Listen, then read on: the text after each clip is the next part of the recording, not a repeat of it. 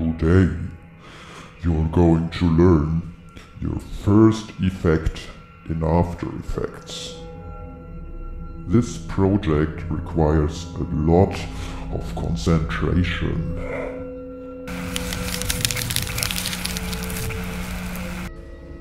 But be warned, your powers can be very dangerous if you are not careful.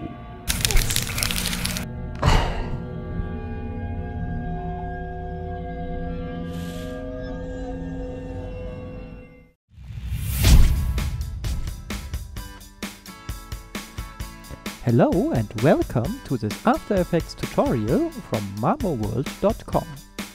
My name is Matthias and in this Guru lesson I show you how to create the lightning effect that you have just seen. For this, you first learn how to work with effects. Then you learn how to use keyframes to animate properties in After Effects. So let's start with the first part, applying effects.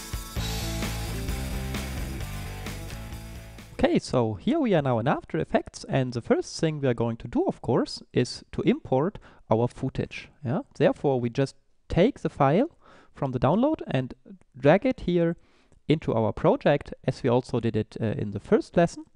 And I hit again return while this is selected to rename it and I call this now Guru clip.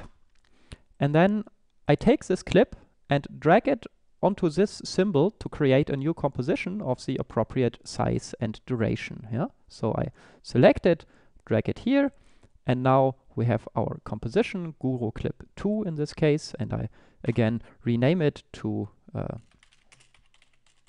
main composition. And I call it main composition because in larger projects you will have uh, later many different compositions and some of them nested into other ones and so on. And so to do not lose the overview, it's a good idea uh, to uh, name them appropriately. Okay, so if we now take a look at this composition, we can see that we have here our Guru clip and that the only thing that is missing is this uh, lightning here uh, in the uh, that, that is happening there. And for this lightning, we are going uh, to apply an effect. And effects are things that are applied in After Effects to your clips and that modify them. Yeah, and you can access the effects by going here to Effects. And then you can see there is a, a variety of very different kinds of effects. Yeah, so I won't start with the lightning effect that we actually need, but choose something simpler to explain you the general concept. And so what you, for example, have here are blur and sharpen effects. And we can, for example, now apply here some fast blur. And now we applied it and you see that our uh, our uh, window here disappeared. And this is because here this new window effect controls popped up. And these effect controls now allow to define how the fast blur effects that we just applied is exactly working. So you can set all the options of this effect. To keep some space here, I click on, on this surface here and drag this window or this palette uh, to, to, to this area. Yeah, such that we have again, uh, uh, or such that we can view our composition here. So now we can have here our effect, and here you see the result of the effect. Um, what I can do here is now, for example, increase the blurriness of this effect, and you can immediately see what it is doing. Yeah. So blur effect just makes your image, of course, blurry. And you have some other options here. Blur dimensions. You can, for example, say I only want to blur in a horizontal direction. Now you have just blurred like this, but not up and down. Yeah, you can also say only vertical blur. Uh, and here you have some other options, uh, repeat edge pixels that are not so important for us at the moment.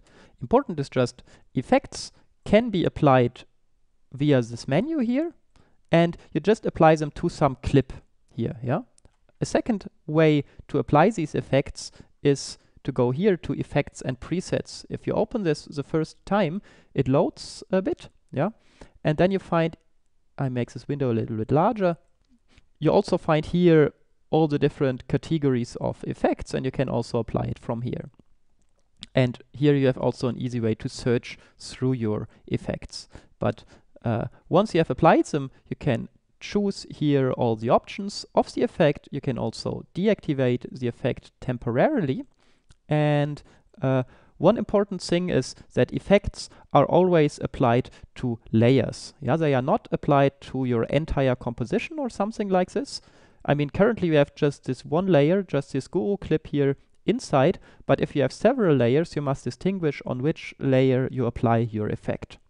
You also find your effect if you click here on this triangle, and you remember in the first lesson we had here just this transform property and nothing else, yeah, where we had the position, anchor point, and so on of the clips. Now, since we applied an effect, we also have here this category effects, and in this category we find our fast blur effect. And the options you can change here, you can in the same way also change here. Yeah, either you change the blurriness here, so let me enable the effect again, either you change the blurriness here, or you can do exactly the same thing also here. So this is just another way of changing the same thing. And all options you can see that you find here are also available here. Okay, but as I said before, this fast blur effect is actually not the effect we are really interested in, so I'm going to delete it again by selecting it here and hitting the delete key on the keyboard. So now the effect is gone and also this category effect is here no more available since no effect is on this layer anymore. And the effect we are actually needing is effect generate and then we have under generate our, where is it? Um, advanced lightning. Yeah, here. Generate advanced lightning. I click on it and you can see we have here such a nice uh, lightning effect. Um, the problem with this lightning is actually that uh, you see our clip disappeared. Yeah, so the guru is no more visible, but only this lightning is visible. And this is because some effects are not actually modifying the clip they are applied to, but they are more replacing it. Yeah, in this case, if you apply a lightning effect, it totally replaces the clip you applied it on, uh, and instead so creates this nice lightning here. And if you do not want this to be the to replace the guru clip, we should apply the effect actually on another layer. Yeah, we need kind of a dummy layer on top of our guru layer that then contains this lightning here. And so therefore I'm going to delete this again with the delete key. And now I go to layer, new, and now I can say we have a bunch of different kinds of layers that we can create. Yeah, we can create texts, we can create solids. Solids are just clips that are very boring, consist just of a solid color and nothing else. And this is exactly what we need because we are going to replace it anyway, so we do not need something fancy. There are other layer types like lights or cameras, which are important for 3D uh, layer stuff that we are going to discuss in later lessons. Null objects for parenting that we will also discuss later. So uh, later. So very different kinds of uh, layers. For now, it's just important if you need a boring layer that you just want to replace with some cool effect, take a solid. Yeah. For a solid, you can enter its size. Since the effect potentially might cover the entire composition, we want to have it the full size of the composition, so we make it comp size. And the color we can choose arbitrarily, but in this case it really doesn't matter since we are going to replace it. Yeah, but we call this then uh, lightning. Hit OK. And now you can see we have now these two layers, the lightning layer. Yeah, I can also so move it here. Let me just undo it. And behind it, the guru clip. And now we apply the effect onto this lightning. So I go again to Effect, Generate Advanced Lightning, and now you can see the lightning uh, replaced this solid color layer and the guru clip is visible behind. Okay, this is already very nice. Uh, one thing that is not yet uh, correct is that the lightning is now visible for the entire duration of the composition. Yeah, and Unfortunately, there is not something like a start or end point for an effect. Yeah, each effect takes as long or is active as long as the layer uh, that it lives on is existing. So what we have to do therefore is to shorten our layer. Yeah. So if I let my layer just start here, the effect also just starts here. So this means we need to move the beginning of the layer to the point where uh, here the lightning should occur. I just zoom in here by scrolling with the mouse wheel. Yeah. And let's say this is about the time where it should occur. Um, like this.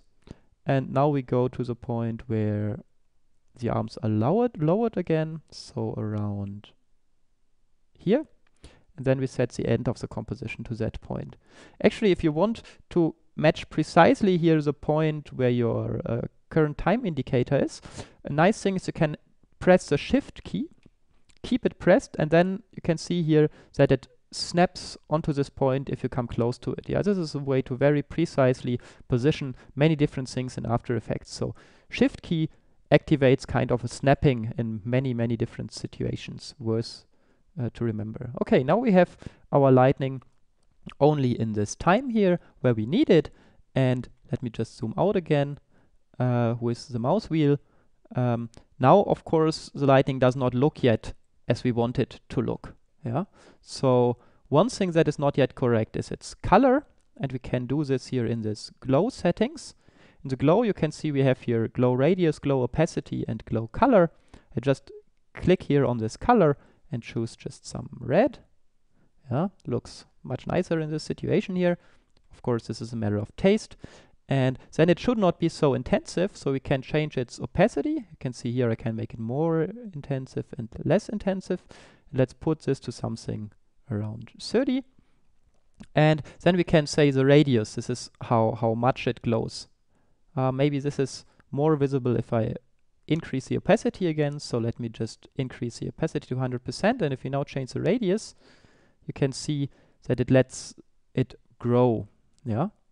Uh, another thing, if you change here these properties, you can also keep the shift key pressed, which makes your changes much bigger. So if I now move this here without shift, you can see if I go up to here, it goes to 85, yeah, from 68 to 85. Now I do the same with the shift key pressed. And now I can see it goes up to here already up to a value of 220. Yeah, so if you need to do big changes, just keep the shift key pressed. Now I press it not anymore, and you can see I just can do finer, smaller changes. Yeah. Okay, but anyway, here I figured out that a value of 30 for the opacity and a value of 30 for the radius looks nice. So just subtle little uh, red glowing. And the next thing we want to change is, of course, the lightning should not look like this, but should start at this first finger and end at the second one. What we therefore need to change is the lightning type from direction to strike. Yeah. With strike, you have here this origin and direction point, and these determine where it comes from and where it goes to. Yeah? This is the first of these two points. I can just keep the mouse button pressed and, and move it here, and you can see that then these numbers here move accordingly. Yeah. So this is like with these numbers, you you determine the starting point, and we want it to be at this finger here roughly. And then the direction is this second point. And this should be here at the second finger. Yeah, this looks already much better. Again, I use the mouse wheel to, to zoom in here a bit. Like this. And now I can precisely position the lightning where the fingers uh, of the guru are. Okay, so let's take a look at a RAM preview of this. So I change here my work area to roughly the area around this effect. Go here to preview and click here. Now a preview is computed and you can see already a problem is that the lightning is not moving. Yeah?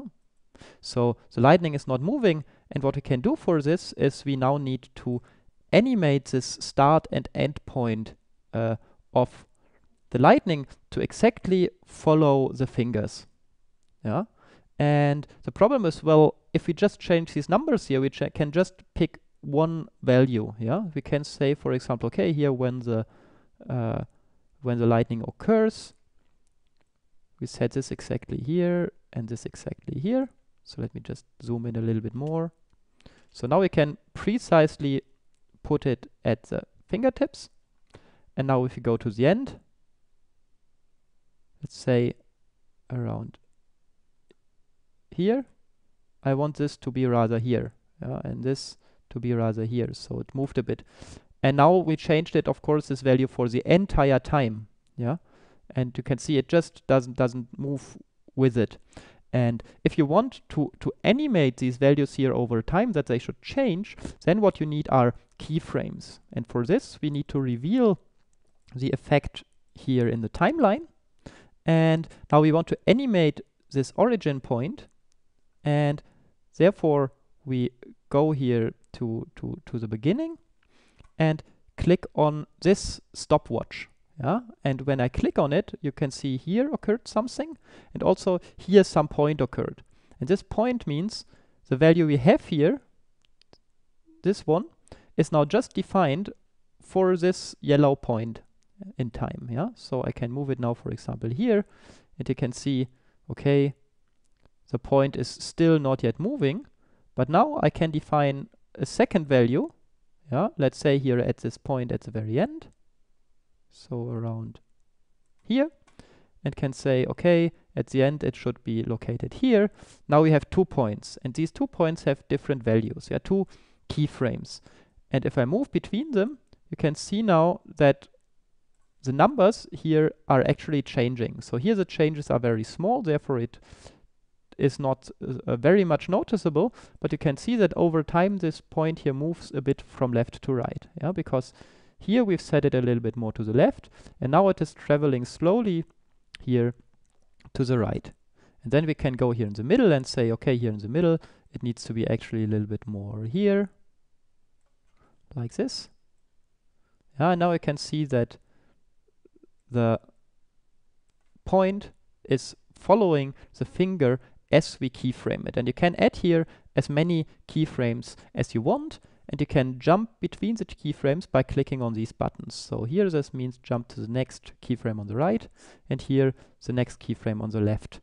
And if you go to some other point, you can also click here to create another keyframe. Yeah? Now another keyframe has been created at this position here. Okay, now we want to keyframe in the same way also this direction point, so this second point here. So we go here to, to, to the end, for example, click on the stopwatch, go a little bit more to the left and adjust it, go still a little bit more to the left and adjust it again, and so on until here. And now if we do another RAM preview, you can see that the lightning is now following our fingers. Yeah. Okay. So now it is following, but the point is it is not yet really uh, moving. Yeah. Uh, and for this, we have to animate also here the conductivity state. You can see if I move this, you can see the lightning moves very nicely. And the problem is just, okay, if I just pick here another value, it stays on this value for the entire time. Yeah, again, no real movement of the lightning.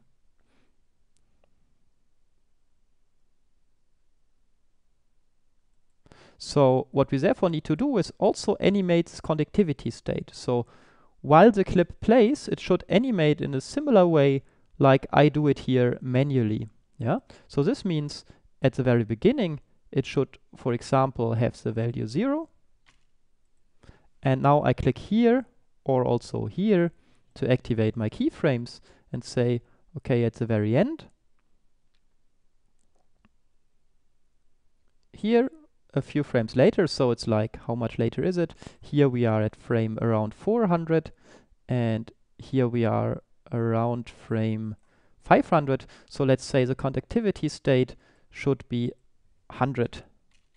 So this means it slowly changes from zero you can can see it here. So here it's unfortunately not animated, but if I if you look here and scrub through time, you can see that it slowly grows from 0 to 100, yeah, which makes now the lightning move very nicely.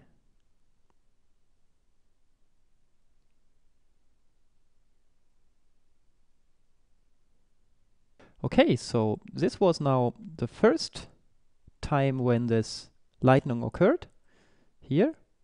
Yeah. And now remember that also a second time at around this point here, uh, the lightning should, should occur again. And what we can therefore just do is, of course, we could do exactly the same thing again. Second time, go to layer, new solid, and so on, create it as the effect and all stuff like this. But what we can also do is just select this layer and go to edit, duplicate, or control D. And now we have an exact copy of our lightning and we can just move it where we want it to be. Yeah, so around here. And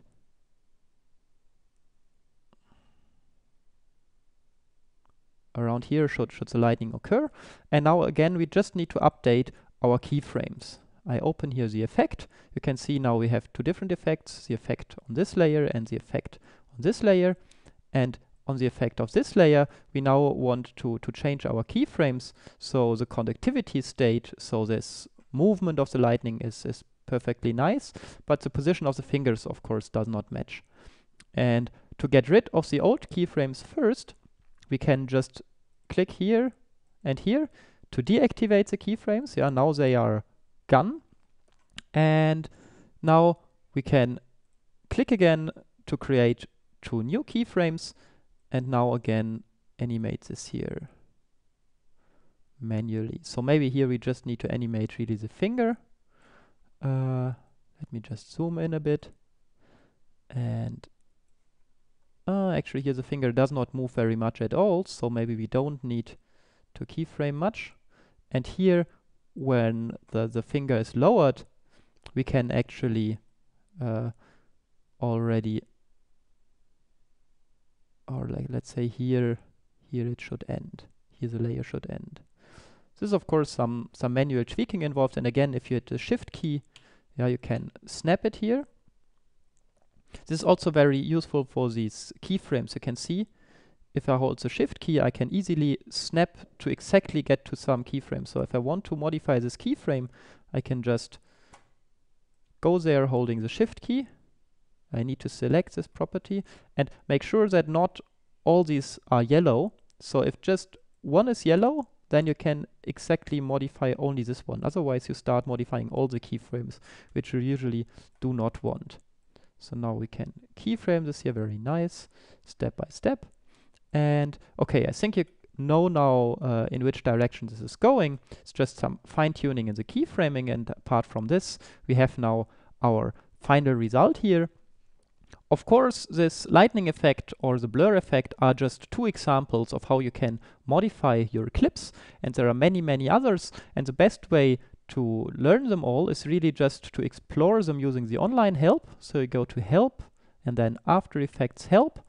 And um, okay, here I have, for example, now the online help for CS5 and CS 5.5, but all of them are quite similar. Uh, what you find there is also a section here about effects and animation presets. And what you find there is really an effect list and a detailed description of all the different effects and kinds of effects that are available. So it's really best to just look through all of these documentation and try them out, play around with them and see what you can do. And also remember that usually effects that you later create are not just applying a simple single effect, but a combination of various effects. So if you think of how to play with these effects, also start to try uh, combining them. Okay, I hope for all of this, for the exploration of these many different effects, I gave you a bit of a starting point today. I hope you liked it, and I also hope that you join in again for the next part of the Guru lessons. My name is Matthias, and this is a tutorial for mamoworld.com.